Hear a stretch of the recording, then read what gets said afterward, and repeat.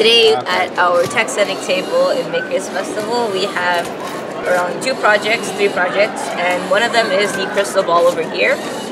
Basically, it's using an Arduino, and you get to push the button after you ask any yes or no question.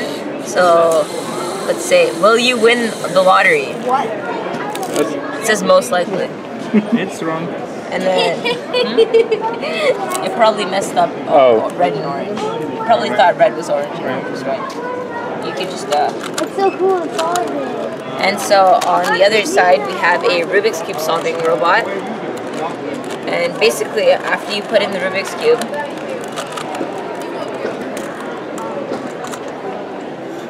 It will solve it. yep. And over on here, we have a bunch of remote controlled robots that we could use. So we have a bulldozer, we have a walking robot, we have a tank, and we have a uh, speed tank or a race, oh, racetrack. Did you use Arduino for all of the Uh, so these are running on EV3, and uh, same goes for over here. And it's basically made out of Lego. Mm. Um, So right over here, it's gonna start scanning it using the color sensor on the top. Oh, it's and- not a camera, it's just a color sensor. Yeah.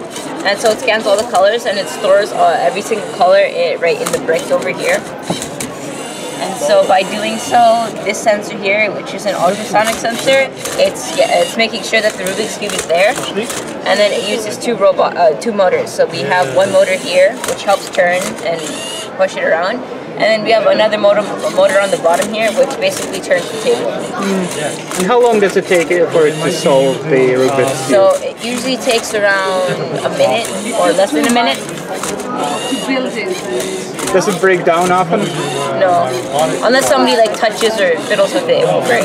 Mindstorm, but with um, yeah, it's called, Oh, it's almost done. no, the, the It'll say how many steps it takes and the time it Uh, took. it comes with its own software. Okay, there's a different kind of software that's better. Yeah, it's basically it's based on Good afternoon.